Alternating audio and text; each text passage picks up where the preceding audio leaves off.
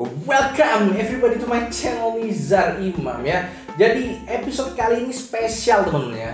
Spesial 10.000 subscriber. Saya berterima kasih sama teman-teman semua yang udah support saya sampai detik ini juga ya. Jadi karena episode kali ini spesial Saya nggak akan cerita tentang wisdom ataupun tentang skill ya. Tapi saya kali ini akan berbagi ya. Apa yang akan saya bagi? Nah ini teman-teman ya.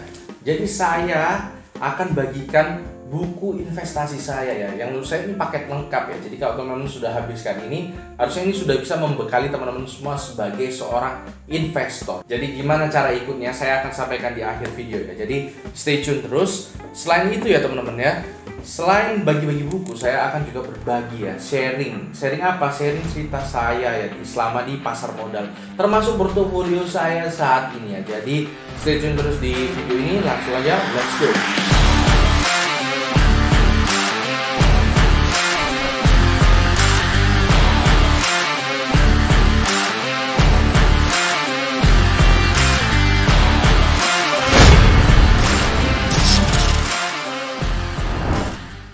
Oke teman-teman, jadi sebelum saya mulai ceritanya, saya ingin sampaikan teman-teman dulu ya. Kalau misalnya saya ini nggak ada background finance sama sekali ya. Jadi saya ini sebenarnya orang teknik ya, dan saya juga masih bekerja sampai saat ini. Bekerja itu dalam artian dari jam 8 sampai jam 5 ya. Nah, saya bekerja itu di bidang developer perumahan dan konstruksi ya. Itu ya teman-teman ya.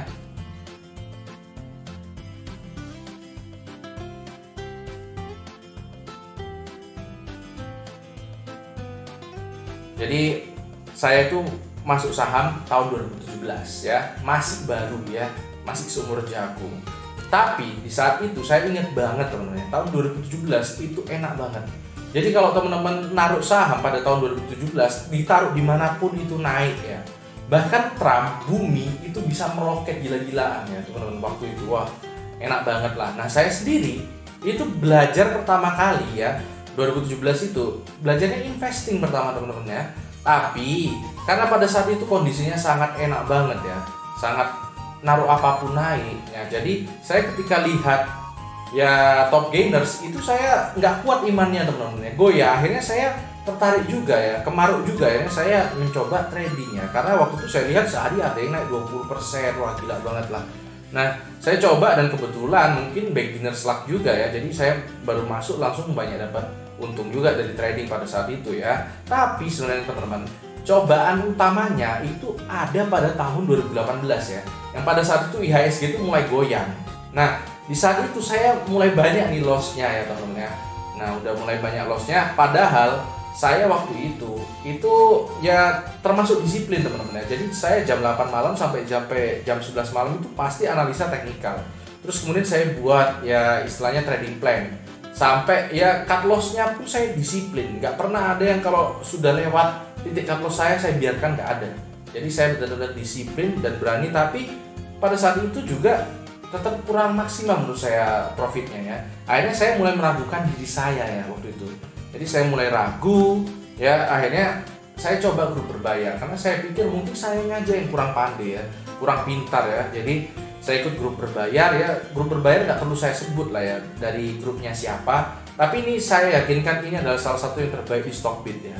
Nah jadi saya ikut. Ternyata ketika saya ikut itu nggak beda jauh teman-teman ya. Nggak terlalu berbeda jauh. Ya paling bagus cuma naik sebulan itu setengah persen di saat itu ya.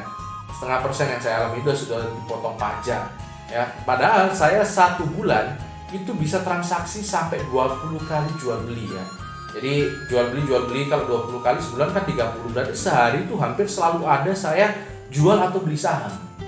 Gitu ya. Naiknya nggak seberapa tapi capek banget. Akhirnya saya memutuskan rehat ya. 2018 setelah lebaran itu sekitar Agustusan saya rehat saya coba mengevaluasi apa yang salah dengan diri saya. Ternyata pada saat itu hasilnya menurut saya saya sudah ya nyasar lah. Udah belok dari apa yang saya ingin lakukan dulu ya investing. Akhirnya saya belajar lagi value investing. Nah di situ saya mulai belajar menghitung harga wajar dan segala macam. Dari hasil pembelajaran saya ini saya menemukan ya ada saham bagus. Waktu itu ada namanya MBOH sama PSSI ya. Nah menurut saya itu yang sangat bagus lah. Akhirnya saya tes ya kan.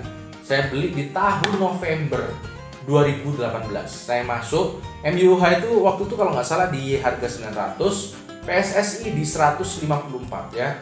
Nah MUH itu waktu itu saya hitung harga wajarnya sekitar 1300an teman-teman sedangkan PSSI itu 200 ya. Dan setelah saya tinggal tidur ya saya skip 6 bulan selanjutnya. Nah ketika 6 bulan selanjutnya ini berarti bulan Mei 2019an nah kebetulan saya waktu itu mau hajatan teman-teman ya. Mau merit ya. Ya teman-teman tahu sendiri lah merit di Indonesia itu adalah merit dengan biaya termahal ya. Jadi saya terpaksa harus likuidasi aset ya aset saya juga termasuk aset saham ini. Akhirnya ketika saya buka karena saya mau jual ya ternyata MUH dan PSSI saya punya dua ini sudah bisa menghasilkan membuat tumbuh portofolio saya sekitar 60% hanya dalam waktu 6 bulan ya. 6 bulan teman-teman ya. Itu udah termasuk dividennya karena dua-duanya bagi dividen. Jadi ternyata perhitungan saya tepat teman-teman ya MUH melewati 1300 bahkan mencapai 1500 PSSI melewati 200 ya bahkan sempat nyentuh 220-an ya jadi saya waktu itu sangat amazed ya dengan apa yang sudah saya lakukan. Nah, ternyata investing itu jauh lebih santai dan jauh lebih profitable ya. Itu yang saya alami ya. Nah, akhirnya setelah saya likuidasi habis ya, saya sudah menikah nih ya ceritanya. Nah, saya akhirnya mulai belajar lagi ya.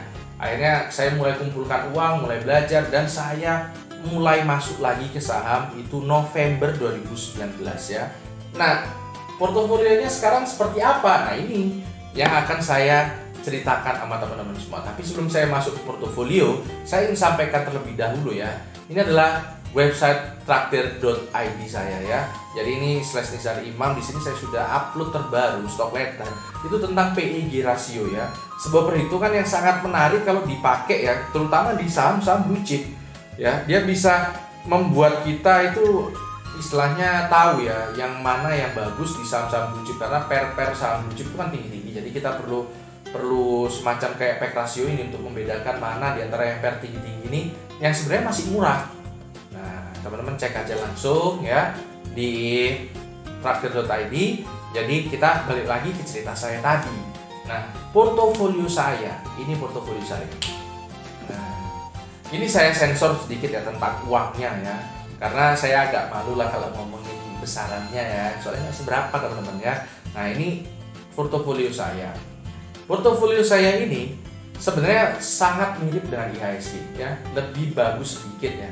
Karena pada saat beli itu 6.300 penurunannya sampai detik ini itu sekitar 29 persenan teman-teman bisa cek sendiri nah saya 27 nggak beda jauh artinya ya sebandingkan dengan IHSG ya nggak kalah lah saya dengan IHSG bahkan lebih baik sedikit ya. Nah, terus saya di sini bukan mau pamer ya, karena nggak ada yang perlu dipamerkan. Sebenarnya saya juga sama aja kayak teman-teman semua minus. Cuma teman-teman ya, yang ingin saya sampaikan ya, teman-teman nggak usah khawatir, minus itu biasa. Bahkan Warren Buffett pun itu pernah nyangkut 3 tahun, 5 tahun itu pernah ya. Ini nyangkut baru beberapa bulan 27% itu biasa teman-teman sangat biasa. Nah inilah yang ingin saya sampaikan ke teman-teman semua. Saya nggak ada fear, nggak ada greedy ya pada saat ini ya saya nggak nggak kepikiran sama sekali ya bahkan saya enjoy banget ya dengan portofolio saya ini kenapa? Ya karena saya sudah mempelajari wisdomnya. Nah inilah yang ingin saya sampaikan sama teman-teman semua. Teman-teman nggak usah minus terus pusing apa segala macam. Nggak usah teman kalau selama yang teman-teman masukkan itu uang dingin uang yang nggak perlu buru-buru makainya slow aja. Itu pasti akan kembali tapi belinya harus yang bagus-bagus ya. Gitu. Jadi nggak usah bingung nggak usah santai nggak usah kritik nggak usah buru-buru ya. Gitu ya nah berikutnya yang ingin saya sampaikan itu susunan portofolio saya ya. Ingin saya cerita dikit ya.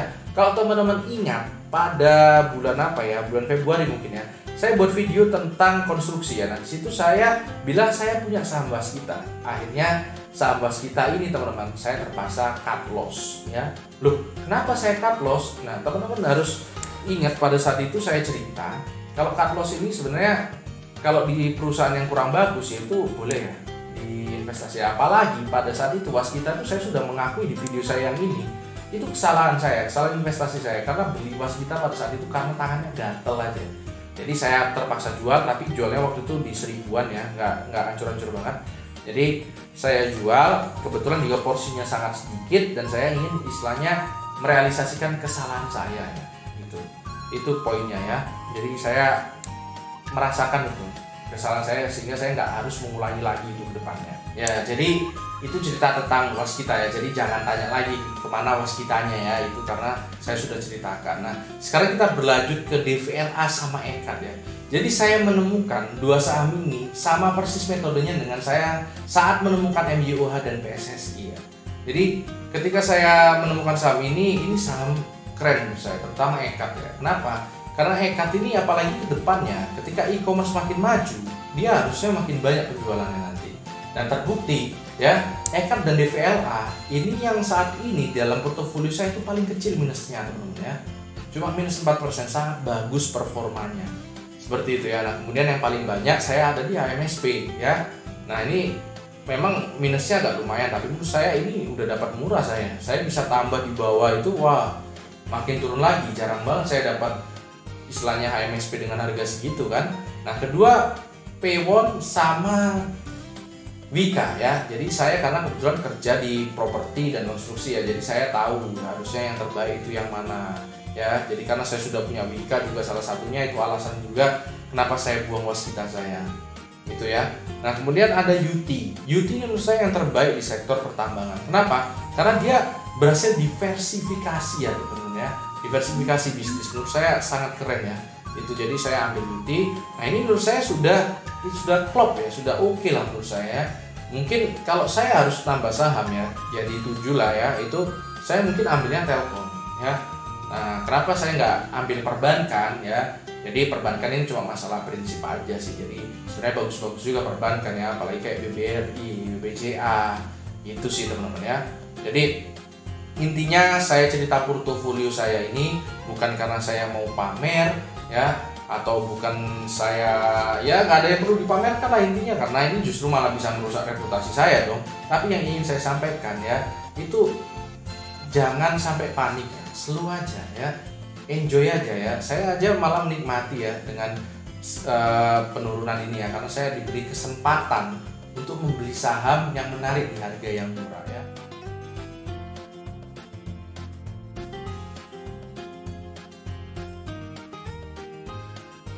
nggak usah bingung, nggak usah buru-buru beli ya Warren Buffett aja pernah nyantol itu yang ingin saya sampaikan ya makanya saya sampaikan portofolio saya biar teman-teman nggak merasa sendirian minus. Itu ya oke? Jadi jangan bersedih lagi oke? Kita lanjut lagi. Sekarang ke giveaway-nya teman-teman ya. Saya akan bagikan buku. The Value Investor. Investing is Easy sama The King Investor ya teman-teman ya oh ini sama Deals of Warren Buffett ya. Ada empat bukunya ini menurut saya buku yang sangat keren-keren teman-teman ya. Terutama dua ini. The Value Investor sama The Deals of Warren Buffett saya dapat dari wisdom salah satunya dari buku-buku kayak gini. Apalagi The Deals of Warren Buffett ini cerita detail tentang Warren Buffett ya. Kalau The Value Investor ini gak hanya Warren Buffett. Ini dari fund-fund manager top dunia yang lain ya jadi kisahnya seperti apa dari susah sampai sukses itu seperti apa nah saya dapat banyak pembelajaran dan mindset dari buku-buku seperti ini ya. Nah ini akan saya bagikan teman-teman. Caranya gimana? Yang pertama ya pasti subscribe dulu lah. Saya jamin nggak ada ruginya kok ya. Jadi channel ini benar-benar uh, saya dedikasikan untuk edukasi ya. Jadi nggak ada aneh-aneh lah, nggak ada prank lah intinya ya. Jadi jangan lupa subscribe dulu, terus kemudian di share ya, dibagikan sama teman-temannya, terus kemudian komen ya, komen dan like. Komen ini nanti saya akan seleksi ya teman-teman ya. Dengan random siapa yang akan dapat satu orang yang dapat empat buku ini ya. Itu caranya ya. Jadi komennya apa? Komennya terserah. Teman-teman mau kritik saya mau masukan buat saya itu bebas teman-teman ya. Terserah pokoknya komen ya. Itu sih. Tapi yang yang bagus lah komennya ya yang membangun juga ya buat channel ini juga. Karena ya biar channel ini tetap tetap bertumbuh juga ya. Itu sih. Nah itu aja ya teman-teman ya. Saya mau sahur ya. Ini sudah tengah malam ya karena mau sahur juga. Jadi saya sekiankan dulu video kali ini. Moga-moga bermanfaat ya meskipun ya inilah kesempatan saya cerita macam-macam ya karena biasanya kalau di video umumnya saya tuh ceritanya nggak bisa cerita karena padat ya yang saya terangkan itu ya dalam waktu yang nggak terlalu panjang ini ya. Oke, gitu aja. Karena hidup harus seimbang, tetap cerdas dan tetap santai.